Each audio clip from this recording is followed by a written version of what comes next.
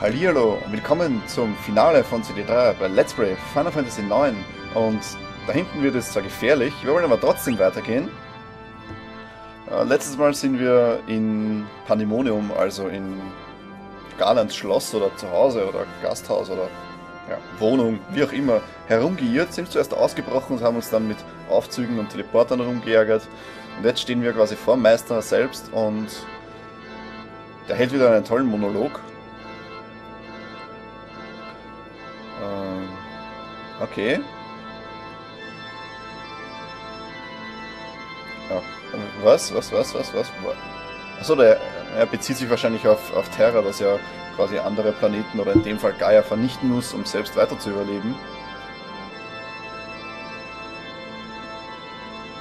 Ja, das, auf, auf jeden Fall glaube ich nicht, dass wir das zulassen werden.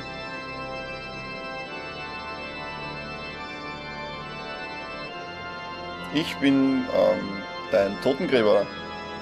Oder so. Ja, und jetzt kommt natürlich wieder die Freundesschiene. Die obligatori äh, obligatorische philosophische Stunde bei Final Fantasy ist jetzt angebrochen. Oh, oh, oh. Das ist übrigens der Grund, warum wir die Hypnosemützen ausgerüstet haben. Die schützen uns nämlich gegen Windangriffe. Und das ist der erste Bosskampf, der weiße Drache von Garland oder so, oder von Kuja. Eigentlich gehört der Kuja, glaube ich, oder? Zumindest ist Kuja auf ihm geritten, auf CD2 oder so. Äh, wie gesagt, äh, wenn ihr schon bei Maragon mit dem Rotkäppchen fertig sein solltet, dann wäre es gut, wenn ihr vielleicht... Ähm, wir wollen natürlich von den Typen auch was klauen. Wäre es gut, wenn ihr Maragon auch schon eine Hypnosemütze geben würdet. So, wir werden mit Steiner werden wir nur angreifen. Mit Margon werden wir auch angreifen. Sehr gut, da können wir vielleicht ganz gut stehen jetzt. Wir wollen von dem Typen zwei Sachen stehlen, und zwar eine... Oh, eine, eine Drachenrüstung und noch etwas. Ah, die war, ja, die Vajus-Krale, die wollen wir stellen und die Drachenrüstung wollen wir natürlich auch noch haben nachher. So, wir werden hier gleich mal durchheilen. Wir haben das, wir haben das Mana, ja. Oh, Steiner macht schon ganz schön viel Schaden. So, einmal noch. Also ich probiere es jetzt noch zwei Runden, wenn ich dann die tolle Drachenrüstung nichts finde, dann... Ich glaube, ich sollte mit dem Typen jetzt nicht mehr angreifen. Ja, mit Margon können wir noch angreifen vielleicht. Wir müssen Margon jetzt speziell etwas, etwas mehr heilen, weil er nimmt von den Angriffen des Drachen deutlich mehr Schaden als alle anderen. Oh, ein Elixier, das brauche ich nicht. So, jetzt ist aber mal Ruhe hier. Klauen. Autsch, ouch, ouch, ouch. Okay, dann werden wir hier mal einen Heilpotion am Magen verwenden. Und mal ein Vigra. Ja, das ist der Draco-Panzer. Sehr gut, dann können wir gleich mal weitermachen mit dem Angreifen. Das war übrigens alles, was ich stehen wollte. Also die Krallen für Magon und den Draco-Panzer. Das heißt, wir können hier auch jetzt ganz normal angreifen. Ist wahrscheinlich sogar intelligenter als Räuberseele zu verwenden. Wobei, kann ich, kann ich Räuberseele jetzt überhaupt verwenden? Ich glaube, kann ich nur die, die Dein-Sachen verwenden von Zitanels, oder? Oh, verfehlt. Gut, und mit dir könnten wir eigentlich... Ah, er ist schon tot? Okay. Also, er ist, abgesehen davon, dass seine Angriffe ziemlich stark sind, hat er nicht allzu viel HP, also nicht so oft draufschlagen mit Steiner und Magon. Weil wenn beide Tontauben haben, machen sie schon ganz schön viel Schaden auf ihn und sollten sie vielleicht äh, ihre Trance haben, dann können sie auch max maximal Schaden anrichten. Und wir wollen ja nicht, dass der Typ stirbt, bevor wir alles geklaut haben. Und natürlich, weil es einer der Bosse am Ende einer CD ist, löst er sich auch, auch ganz schön im Wind auf. Also mit sowas kann er uns nicht beeindrucken. 13 AP übrigens, das natürlich verdoppelt wird auf 26 für dadurch, dass wir bei den betreffenden Charakteren äh, AP Plus ausgerüstet haben. Ja, das hast du wahrscheinlich schon oft genug gesagt.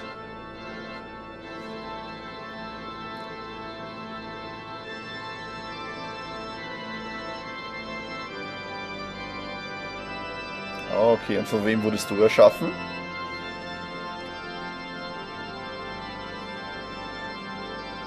Ah, du bist quasi der Seelenbuchhalter oder von Terra oder wie. Also doch nicht Darth Vader, sondern nur einer von den Bürokraten, die in Coruscant sitzen. Na, wie auch immer. Jetzt geht's auf zum finalen Kampf gegen Garland. Garland oder wie auch immer er in der deutschen Version heißt. Und irgendwie sieht das ganz ungesund aus, das Loch in der Mitte von seiner Brust. Egal. Äh, was wir hier machen wollen, wir wollen natürlich ganze Sachen stehlen wieder bei ihm. Und zwar von ihm einen dunklen Anzug und einen Ninja-Anzug, glaube ich.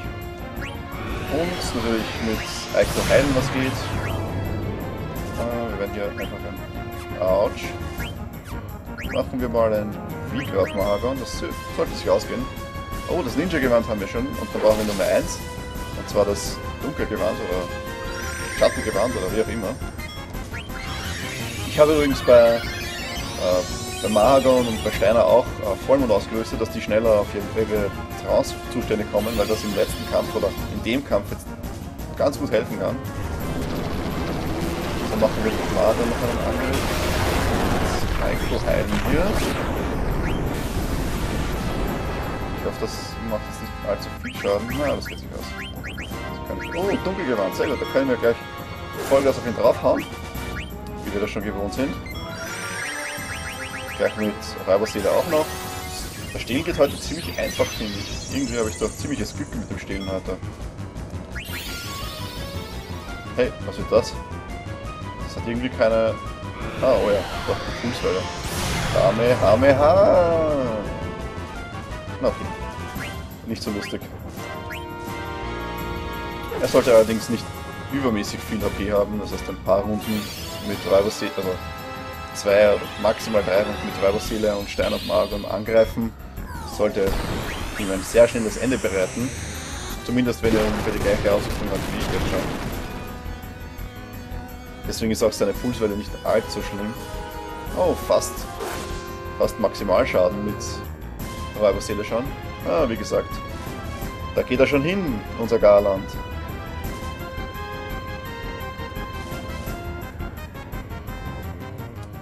So, und was sagst du dazu? Bist du jetzt immer noch der Buchhalter der Seelen oder gibst du jetzt endlich auf und lässt die Seelen frei oder was auch immer?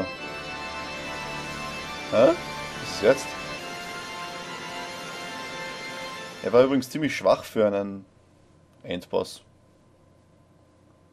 für einen CD-Endboss. Also er ist ja noch nicht der, der komplette Endboss des Spiels, sondern ja, sondern nur ein Endboss einer CD. Oh oh. Du sollst dann nicht gar nicht lachen, wenn es nach mir geht, aber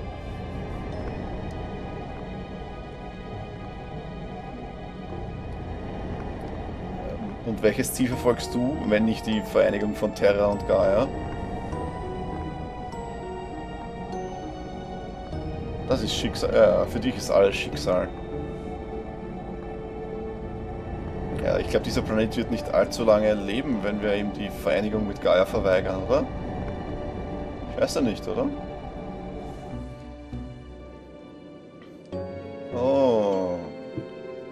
weiß sich sogar so, so gut, um sich herunter zu beamen. Er lässt sich einfach so mit einem Traktorstrahl auf den Boden hieven. Ähm, okay, dann wirst du auch einfach klein beigeben, wenn du uns liebst, oder? Okay. Genau. Erzähl jetzt. Du sollst mir erzählen, was du vorhast, nicht ausschweifen hier.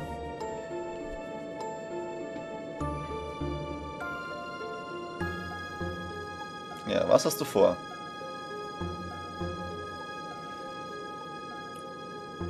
Okay. Welches Ungeziefer? Nein, das glaube ich nicht, Tim. Denn jetzt gibt es den letzten Bosskampf auf CD3 gegen Kuja. Ja, lang, lang ist es her, dass wir, den schon mal dass wir dem schon mal begegnet sind. Und er ist einiges stärker geworden. Aber ich hoffe nicht zu stark für uns. Wir wollen auch von ihm etwas stehlen, und zwar ein weiteres Carabinieri. Währenddessen greifen wir einfach hier an. Und zwar mit Wir können auch gleich Schock verwenden. Also Schocker. Magon, oh, Ether brauche ich nicht. Heilmagie, können wir den heilen oder so? Ja, heilen wir sie dann mal. Oh, 9999 Schaden, sehr gut. Okay, ich werde natürlich, wenn es zu lange, also falls es zu lange dauern sollte, die Karabiniere zu stehen, werde ich einfach rausschneiden. Die Versuche, die ich brauche, allerdings nicht lachen, da, kitzeln dich ja nicht. Wir bauen auf dich drauf, zumindest glauben wir das. So, dann geben wir Maron einen Ether. Maron gibt Zitanen Ether. Ah, nicht Zitan, Steine natürlich. Und das ist auch der Grund, warum ich... Ich habe einiges, einige Ausrüstung, die auch etwas gegen Blitz schützt. Natürlich, weil Future Blitz verwendet. Also Blitz und Wind sind die zwei Elemente, auf die man ja Acht geben sollte. So, Eiko, was machst du? Keine Ahnung. Du brauchst eigentlich nicht wirklich etwas machen. Du heilst dich mal selbst. Während sie dann irgendwann mal herankommen sollte, um weiter zu stehlen.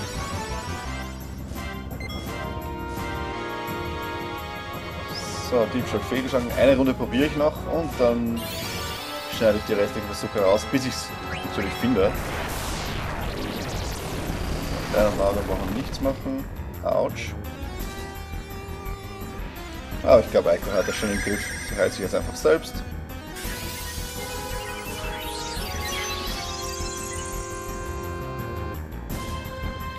So, okay. Ich schneide die Versuche, bis ich eben die Karabiniere finde, einfach raus.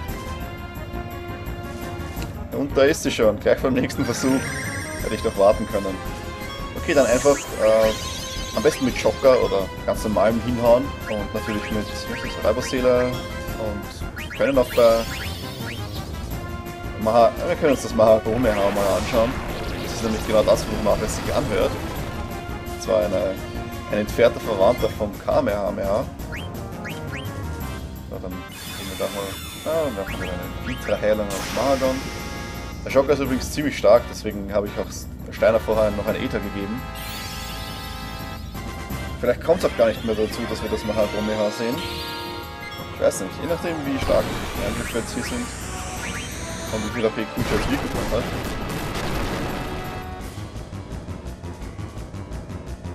Okay, das müsste sich noch einmal ausgehen. Dann haben wir schon. Ja. Er macht nicht allzu viel Schaden, also es wäre vielleicht sogar intelligenter, mit Mahagon nur zu, zuzuhauen. Aber zumindest habe ich es jetzt mal hergezeigt. Was ich sonst noch? Chakra ist übrigens er generiert HP und äh, HP der ganzen Gruppe. Das ist Almosen. Ah, okay. Das ist, da kann man mit Geld auf den Gegner werfen und ihn so sozusagen beschädigen. Oh, das können wir auch noch. Das machen wir gleich mal auf. Oh, machen wir noch Magon selbst. Uh, Gravitas. Äh, das, den Spruch, den ich mit Maragon jetzt verwende, ist quasi das gleiche wie äh, Auto, Auto äh, Segen oder wie Segen selbst. Das Auto-Leben oder Auto-Engel. Das heißt, es ist so ein Schutzzauber, wenn... Ah, okay, wir sehen sie nicht mehr. Wenn ein Charakter quasi getötet wird, dann wird er automatisch wieder aufgeweckt. Allerdings ist das sowas wie ein, ein, ein Buff, so wie äh, Hast oder... Wie ist das? Oder Regena. Das heißt, wenn man es im Kampf zaubert, kann es vom Gegner theoretisch auch entzaubert werden. Wenn man es quasi als Segen in den Abilities aktiviert, also wenn es automatisch ist. Ey, was ist mit Kucha los? Wenn es automatisch ist, dann funktioniert es quasi immer den ganzen Kampf über, ohne dass es irgendwie vom Gegner heruntergenommen werden kann. Äh, was ist mit Kucha los jetzt? Ähm, Hilfe, Mami? Müssen wir jetzt nochmal gegen ihn kämpfen? Na, hoffentlich nicht. Ultima hört sich aber nicht so gut an. Autsch. Wird auf der Ultima zaubern und ich nicht? Na, ich hoffe, das habe ich überlebt.